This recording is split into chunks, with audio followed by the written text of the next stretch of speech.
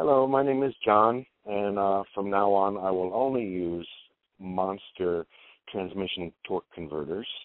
Uh, I've purchased three in the past and had excellent luck with them.